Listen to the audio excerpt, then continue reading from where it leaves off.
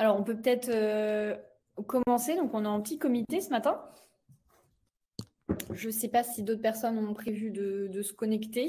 Euh, comme vous pouvez le voir, je vous ai partagé les statistiques. Alors, malheureusement, elles ne sont pas à jour. voilà, il y a eu un petit bug, euh, mais elles sont en train d'être mises à jour. on, va à partir de, maintenant sur le, site partager les statistiques de, voilà, de l'expérimentation du, test fonctionnel en live. Donc, on va essayer de les mettre à jour euh, tous les deux jours pour que vous puissiez avoir un aperçu de qui sont les services euh, euh, concernés, combien de parapheurs sont en circulation, combien de signatures ont été réalisées et la répartition par service des parapheurs. Donc, le nombre de parapheurs par service dans, ce camembert-là qui n'est pas juste, je, je, suis désolée, on vient de s'apercevoir qu'il y a une erreur. en fait, il faut voilà, ce seront les, parapheurs qui seront issus des services. Donc nous, pour euh, construire ce camembert-là, on regarde qui sont les rédacteurs. Voilà. Donc d'où vient la création du dossier. Voilà. Est-ce que parmi les personnes euh, connectées, euh, des personnes souhaitent partager des retours d'expérience ou des éléments? On est là pour répondre à vos questions, aussi bien fonctionnelles que, que techniques éventuellement. Alors, je ne peux pas faire deux choses en même temps. Donc, j'envoie le mail à tout le monde et ensuite, euh, Fabrice, je te, partage les questions que j'ai reçues un peu cette semaine. Entendu. Pour ne pas perdre trop de temps, euh, je, te, mets les, je te glisse les questions dans le chat, Fabrice. Alors, il y a c'est un mélange de questions, de remarques. Donc, euh, voilà. Comme ça, vous pouvez tous en prendre connaissance, les regarder. Bah, sur le premier point, donc je dis les points au fur et à mesure, c'est ça? J'ai beaucoup de testeurs qui font des remontées centrées sur l'outil. Ergonomie pas simple. Euh, ok, bug, on demande à voir. Manque d'interface avec nos systèmes, oui, ça évidemment, puisque c'est on est dans le cadre d'un POC, donc euh, il est hors de question de s'interfacer avec des systèmes internes aux organisations, ce qui est bien, entendu possible, mais pas euh, dans le, dans le cadre d'un POC. Ergonomie pas simple, euh, là pareil, il faut voir où est-ce où est-ce qu'il y a euh, un mauvais ressenti sur l'ergonomie. Probablement un petit manque d'explication. En quatre clics, normalement, c'est fait. On a, on a envoyé euh, un document en, visa. Ils ont mal perçu que le test portait sur l'apport d'un parapheur électronique dans nos organisations et non sur la préfiguration du déploiement d'Xbus dans notre service. Oui, effectivement, il faudra peut-être faire un petit rappel des objectifs parce que le, déploiement n'est pas à l'ordre du jour. Alors là, je ne sais pas de qui ça vient, mais effectivement, il y a besoin d'une petite mise au point, probablement peut-être plus avec Julien, éventuellement avec moi si c'est vraiment un, ergonomie pas simple et bug. Euh, là, on demande à voir. Hein. Quand on voit le mot bug, souvent on requalifie nous derrière parce que les utilisateurs ont tendance à pas mal utiliser le mot bug alors qu'en fait, euh, il n'y en a pas. Oui, alors là, on parle d'expérience d'usage, donc c'est un ressenti en fait. Euh, Exactement. c'est un, bug, ressenti, mais pas forcément avéré. Voilà, donc c'est important de noter. Un bug important qui porte sur le PDF généré post-signature qui ne correspond pas parfois à celui qu'on a téléchargé dans Xbus, disparition d'éléments dans les zones à remplir, signature non conforme. Il y a un peu un mélange des genres. Disparition d'éléments dans les zones à remplir. Je suppose que ce sont des documents qui sont assez complexes. Donc dans ce cas-là, on va conseiller de vous-même, enfin que, les personnes les convertissent en PDF. Nous, on a un convertisseur euh, PDF. Si euh, ce convertisseur ne convient pas, eh ben, utilisez un, qui convient. Euh, certains documents peuvent être extrêmement complexes, avec des zones de menus déroulants, des choses comme ça effectivement, en passant dans notre convertisseur, on ne peut pas forcément gérer tous les cas de documents. Donc, conseil, euh, convertissez-les en PDF. Trouvez votre convertisseur PDF qui vous convient pour respecter euh, la mise en page de votre document. Euh, signature non conforme, pareil, là, ça manque beaucoup, beaucoup de détails parce que si c'est comme ce matin, on a tu peux peut-être représenter Adèle là-dessus sur la signature non conforme. Ouais, c'est comme ce matin, c'est les mêmes personnes, euh, mais du coup, je, je, vais présenter le, sujet, je, vais partager. Comme ça, tu vas pouvoir. Euh, Tout à fait. Alors, du coup. répondre là-dessus. Est-ce que ça, c'est un cas d'usage intéressant Je vais me dire, normalement, ça doit être bon. C'est bon? Ouais, on voit bien. Ok, super. Pas très gros, mais on voit. je pense que le document en lui-même, d'ailleurs, il doit être. Euh, il se peut qu'il soit là. Oui, il est en PJ. Il est en PJ jointe Super. Ouais. Alors, je, vois, je, vais voir si ça correspond bien à ce qui est affiché à l'écran. Sinon, on va bien pouvoir détailler euh, toute cette partie-là. Les personnes qui sont présentes avec nous là ce matin, est-ce que vous aussi, vous avez déjà rencontré des difficultés euh, à comprendre euh, ce qui se passait lorsque vous avez euh, consulté et analysé le certificat de signature quand il y a eu signature Vous avez eu le sentiment qu'il y a eu un bug ou qu'il y a eu un problème? Je vais décrire ce qu'on voit. dans la signature électronique telle qu'elle est présentée ici, on a trois éléments. Premier élément qui est visuel, signé électroniquement le par Alexandre Dupont. Donc ça, c'est juste une indication visuelle, ça n'a euh, techniquement rien à faire avec la signature électronique. Il se trouve que ce sont des écritures qui ont été euh, portées dans le document au moment de la signature électronique, mais qui n'ont euh, techniquement rien à voir. C'est pas ça la signature.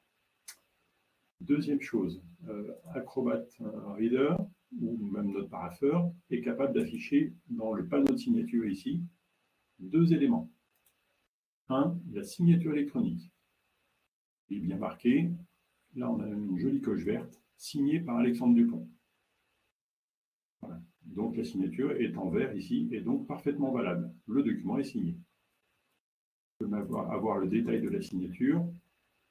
Dans ce cas-là, si je vais sur le détail du certificat, eh bien, on voit que euh, c'est l'autorité de certification AAE, c'est une autorité de certification reconnue par, euh, au niveau européen qui a été utilisée. Donc là, il n'y a pas de souci.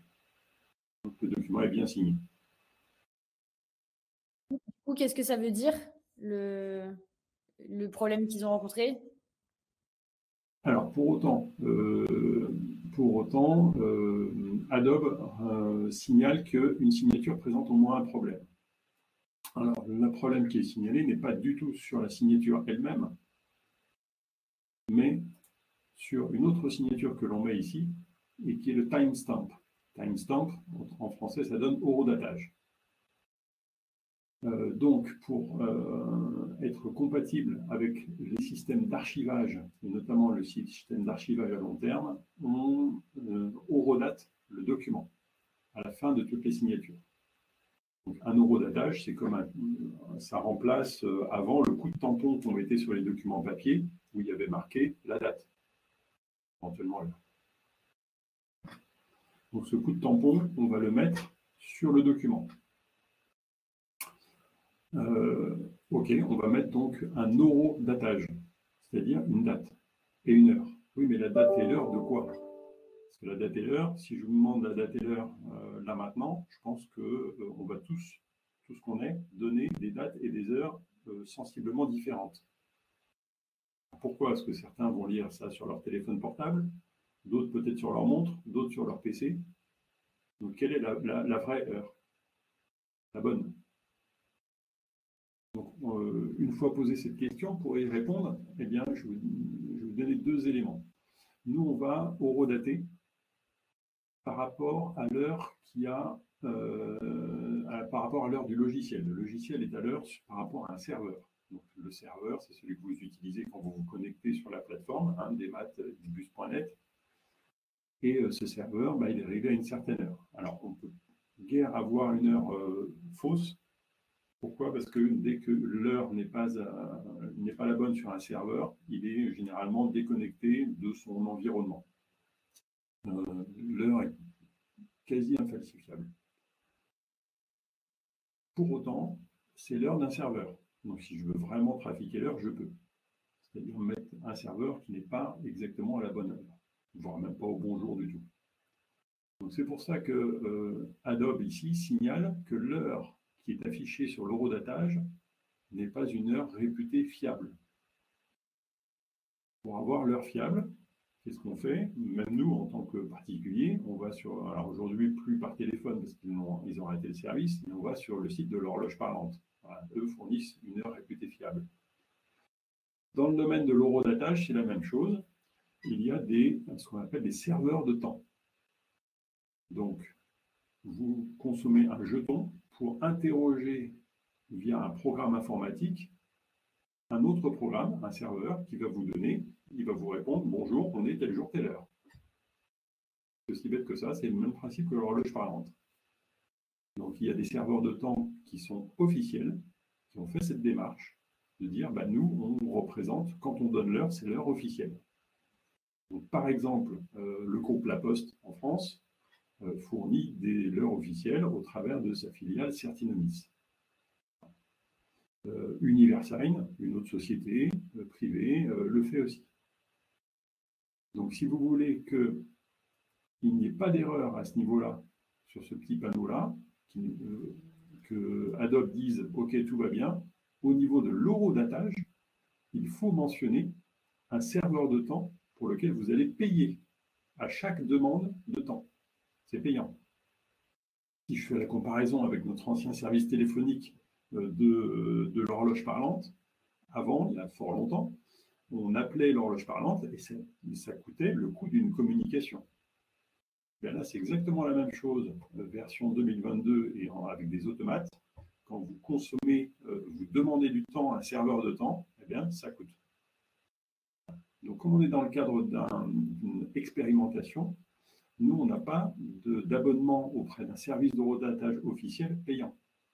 Donc c'est la raison pour laquelle euh, Acrobat Reader ici vous dit attention, le serveur de temps n'est pas réputé fiable, donc peut-être que le tampon qu'on a mis ici, il n'est pas à la bonne heure. Mais dans tous les cas, dans le logiciel, euh, si on va au-delà de l'expérimentation et que vous l'installez euh, en production, vous pourrez avoir des jetons, si vous le souhaitez, avoir acheté des jetons et donc consommer du temps officiel et payant. Voilà. Merci. Est-ce qu'il y a des questions dans le chat? Sinon, je peux en partager une autre.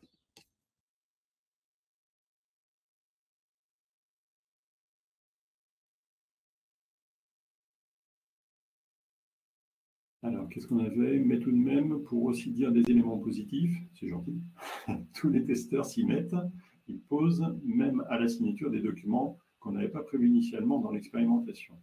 Je pense que c'est encourageant pour l'appropriation rapide de ce nouveau mode de faire. Très bien. Euh, oui, alors on a eu une question tout à l'heure sur Xbus ne veut pas enregistrer la manip. Il me demande tout le temps euh, de mettre un document. Ouais, alors j'arrive pas à te montrer. Est-ce que tu peux me redonner la main pour partager l'écran? Je voudrais te montrer les captures d'écran qu'a fait euh, la personne. Oui, je, tu me les as transmises tout à l'heure, donc je pense que je vais l'avoir. D'accord. Alors, une petite seconde. Hop. Euh, il me semble que tu l'as transmis tout à l'heure, non Je ne suis pas sûre. je l'ai vu. Tu l'as vu? Alors attends. Tu étais en copie, c'est pour ça. C'est euh, Sandrine Moutot. Ah oui, c'est ça.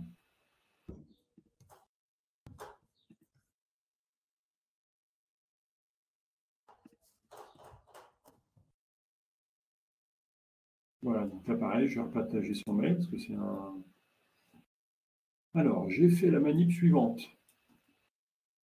Euh, mais Xbus ne veut pas enregistrer la manip pour toutes les signatures. Il me demande définir au moins un document principal et définir les acteurs pour votre dossier. Alors effectivement, on constate sur la capture d'écran bah, que le circuit est vide.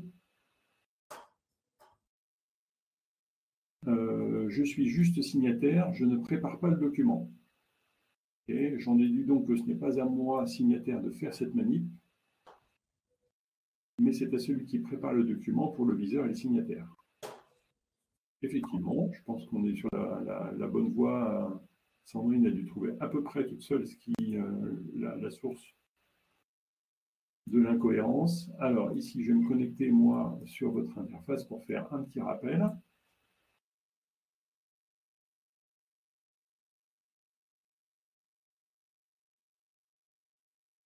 Je vais me mettre en tant qu'utilisateur.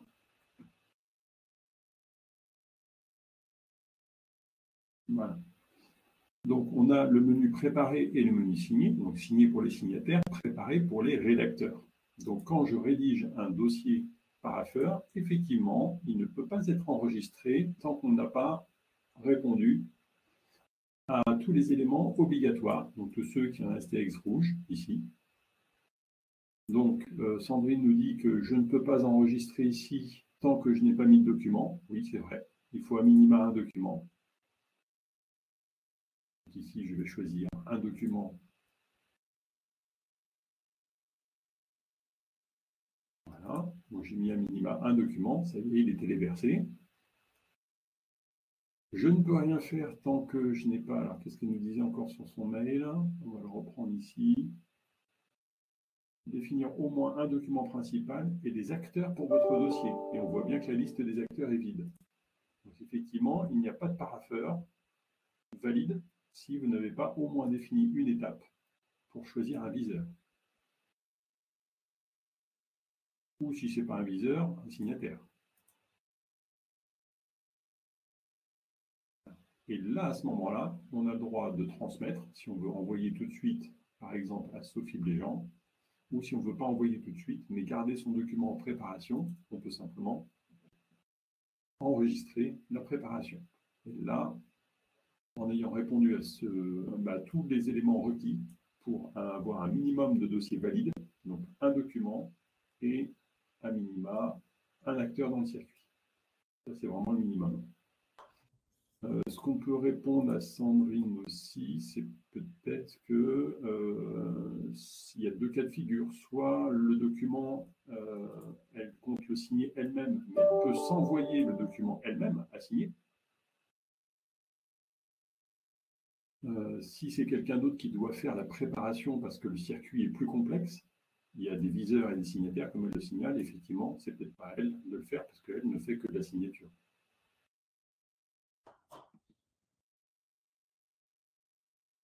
Bien voir de la répartition des rôles. Hein. C'est pour ça qu'on a euh, bien découpé euh, la partie préparation pour les, euh, tous ceux qui rédigent, ceux qui contrôlent, ceux qui signent.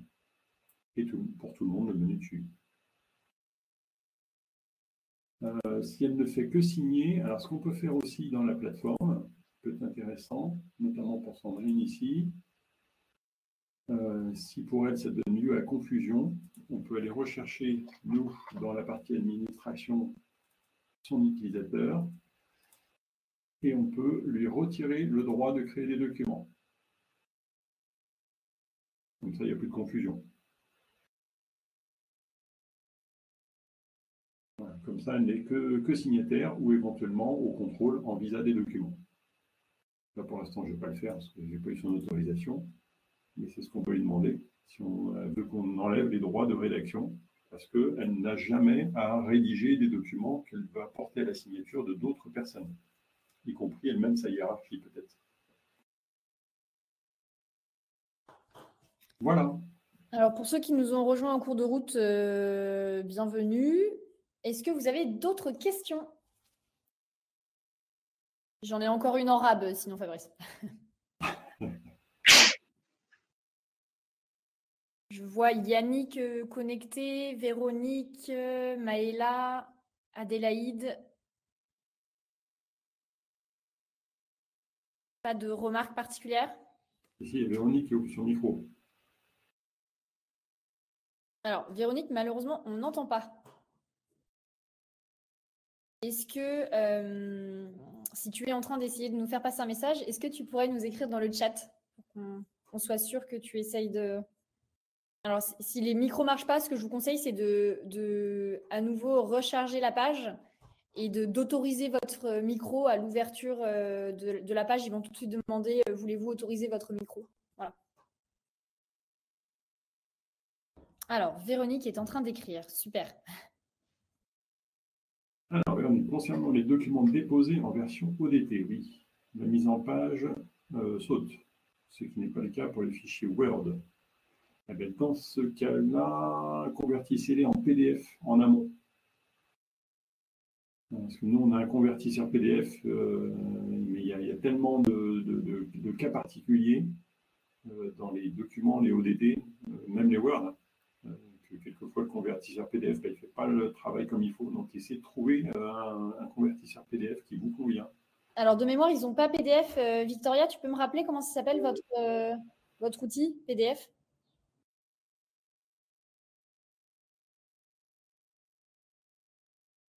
Ah, vous voulez en plus qu'il soit modifié, c'est ça? Donc, le ODT doit passer dans le circuit pour être éventuellement modifié. Et pour autant, la page, euh, la mise en page saute. Voilà, effectivement, donc ça veut dire que vous êtes obligé d'utiliser notre convertisseur PDF il faudrait voir que je vous aide sur un document en particulier. Euh, n'hésitez pas à me l'envoyer, que moi je puisse faire des petits tests et puis vous conseiller sur les, petites, euh, les, petits éléments de mise en page si jamais euh, je vois des choses qu'on peut améliorer pour que notre convertisseur PDF fasse du meilleur travail. Parce que quelquefois, c'est dû à des, à des mises en page, par exemple, énormément de tabulation au lieu d'utiliser un taquet de tabulation beaucoup d'espace au lieu d'utiliser une tabulation. Des fois, c'est des petites choses toutes simples qui aident le, convertisseur PDF à bien, à bien réagir. Donc, quelquefois, c'est des bonnes pratiques en fait de, de, bureautique qui ne sont pas toujours respectées. Et du coup, le convertisseur PDF, des fois, il est un peu perdu. Alors, j'ai maintenant le message de Amélie. Je lis en direct. Je ne vais pas pouvoir assister au webinaire de ce midi. J'ai une question. Denis Biron a essayé de signer un document mais le message ci-dessous apparaît. Notez que la boîte de dialogue pour la demande du code de carte d'agence est ouverte, mais sous les applications.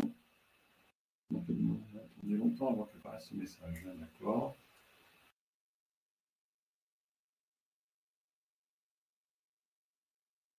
Euh, oui, alors même longtemps, normalement, il faudra vraiment que ce soit très longtemps pour avoir euh, subi une déconnexion. Ce que nous avons essayé, ok. Alors, qu'est-ce qui a pu se passer là sur ce document euh,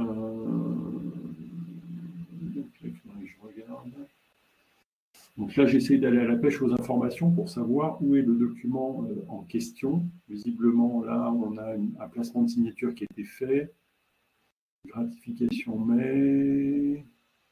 Voilà, donc là, j'essaie souvent d'aller à la pêche aux infos pour essayer de retrouver le message en question, pour essayer d'avoir la nature de l'erreur bien souvent, on va devoir rappeler les utilisateurs pour qu'on le refasse euh, en direct, parce que là, je ne sais même pas quel certificat a pu être choisi. Vous voyez, je n'ai pas du tout l'info. Ok. Euh, j'ai pas non.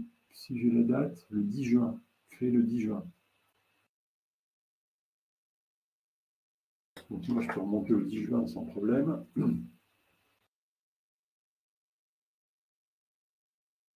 Dans le chat, il y a eu un, commentaire euh, qu'on pourra regarder après en lien avec la question de Véronique. donc là, j'ai un PDF, voilà. un simple PDF. donc avec ça, moi, ce que je peux faire, euh, ah, donc là, on a ça. Ce qu'on peut constater, c'est qu'il y a aussi une attestation de présence euh, à signer. Euh, à voir si l'emplacement de signature a bien été défini aussi sur cette attestation de présence. Parce que là, j'ai deux documents. Donc ça, c'est pas évident. Euh, parce que là, je ne sais pas. ce que je ferai, c'est que je téléchargerai moi les deux documents. Euh, sont le document principal et la pièce jointe, parce que si la pièce jointe doit être signée, eh bien, il doit y avoir la présence du tag de signature ou euh, voilà, l'emplacement de signature n'a pas été défini. Possible. Et en plus, c'est un dossier qui a été relancé. Ok, je vais regarder un peu plus en détail parce que là, j'ai pas de. Il y, a, il y a plusieurs pistes possibles, mais j'en ai pas forcément une seule là, je verrai avec l'utilisatrice pour, la contacter pour voir un petit peu ce qui a pu se passer. Alors, en attendant, euh, il y a eu d'autres. Alors, euh, je rejoins les remarques de Véronique, euh, mais nous avons une charte de graphique à respecter pour les courriers en version. Ah oui, ça n'empêche pas que. Envoyez-moi vos documents que je regarde un petit peu. Ça n'empêche pas forcément de respecter votre charte graphique. C'est quelquefois, je vous ai dit, des, bonnes pratiques de bureautique qui ne sont pas forcément respectées. Et du coup, le PDF euh, bah, a du mal à se générer. Je vous montre un, exemple. moi, je vais le montrer avec Word. Moi, je ne dis pas que c'est ça, hein, je dis que ça peut être ça. Il faut en tout cas chercher dans plusieurs directions. Je vais prendre Word ici.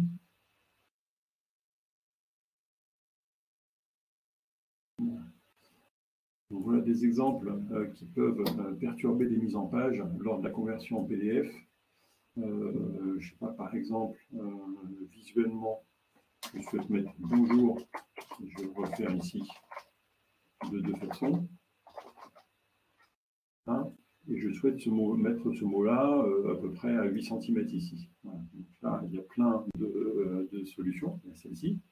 Et puis, il y en a qui vont me faire ça. Voilà, je fais exprès un petit peu euh, des, choses qui ne sont pas super, des bonnes pratiques. Voilà.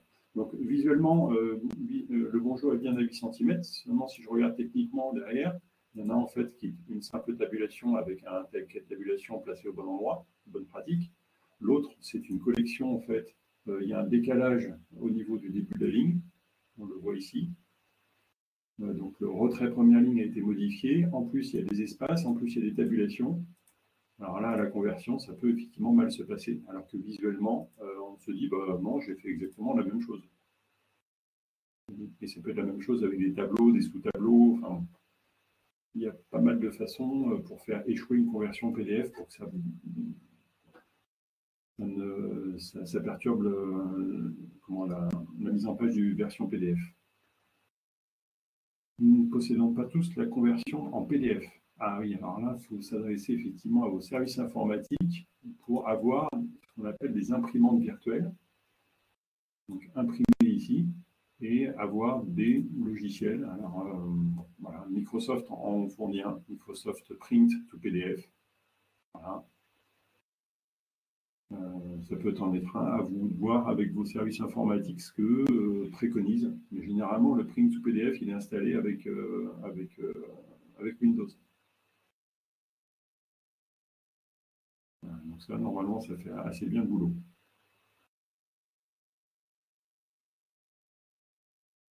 Euh, Foxit, ouais, peut-être fait le, travail. J'ai vu, euh, vu, que ça existait aussi. Je ne connais pas très très bien ce logiciel. Alors, Véronique, en PDF, les viseurs ne peuvent pas intervenir pour effectuer des modifs, coquilles, faute d'orthographe. Non, effectivement. Mais par contre, si euh, c'est la mise en page qui saute à cause euh, de justement de, petits euh, défauts au niveau de la conception du document. Peut-être que si on arrive à corriger ça, vous pourrez mettre l'original et non pas le, PDF, l'original, et qu'à ce moment-là, vos viseurs pourront quand même modifier le document sans perturber la mise en page. Parce qu'on aura peut-être corrigé ces, euh, petits défauts de pratique. À voir. Donc envoyez-moi votre document. Le mieux, hein, c'est vraiment de travailler sur le document lui-même. Donc ça ne fonctionne pas spécialement mieux en Word. Non, non, c'est vraiment de la conception de documents.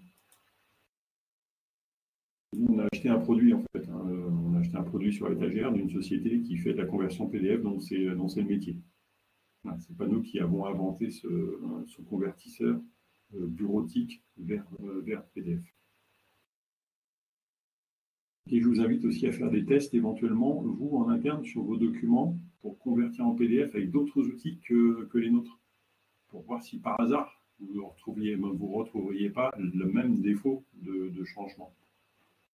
Je ne crois pas que ce soit dû forcément à notre convertisseur PDF, mais peut-être euh, au document lui-même. Normalement, c'est plus souvent ça. Euh, je ne vois pas d'autres questions pour l'instant.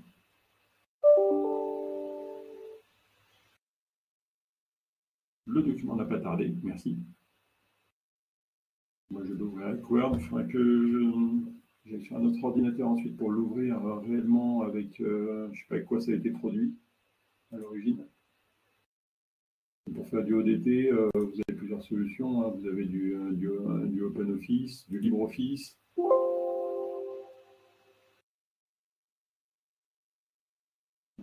Voir, dit-il, sur du contenu lisible. Hmm. Je regarde vite fait. Hein.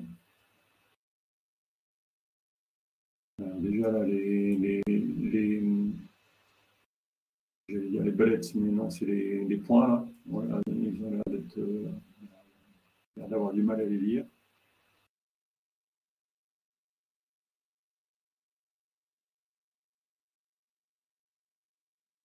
Alors oui, par exemple, d'après ce que les puces sont horribles. Alors, euh, en fait, c'est des numéros tout simplement, donc elles ne sont même pas horribles, elles ne sont pas du tout présentes.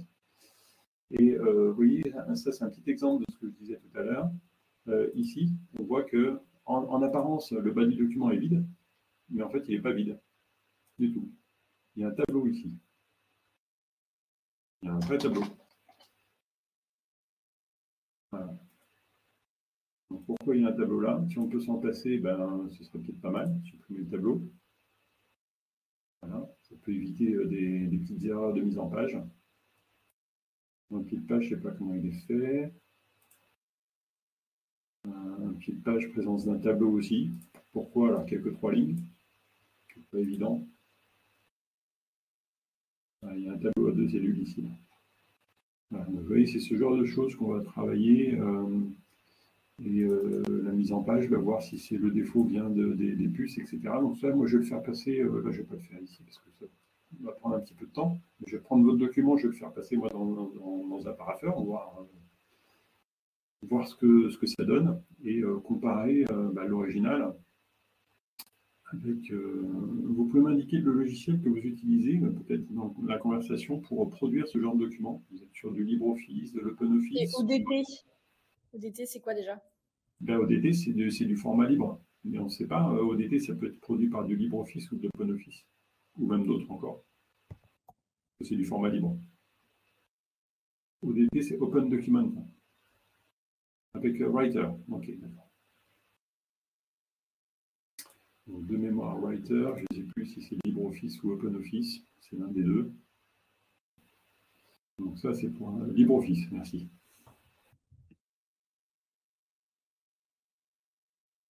Je téléchargerai un LibreOffice pour voir un petit peu ce que ça donne sous, euh, sous le Writer, pour avoir une idée. Parce qu'effectivement, euh, le document, vous voyez, en fait, il n'est pas complètement euh, standard. Parce que quand je l'ouvre avec du Word, qui est censé pouvoir interpréter ce qu'il y a dedans, il dit qu'il y a du contenu lisible. Je suppose que ça doit être les petites puces qui sont dedans, qui sont peut-être un petit peu spécifiques.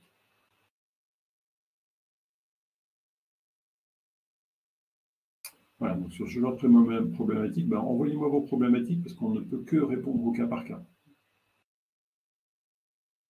Est-ce qu'il y a d'autres questions? Rien d'autre On peut peut-être euh, du coup s'arrêter là pour aujourd'hui. Ah, pas d'autres questions pour moi. Ok, merci Véronique. Très bien. Eh bien, donc, euh, bonne fin de journée à tous. Victoria, tu veux ajouter quelque chose Peut-être?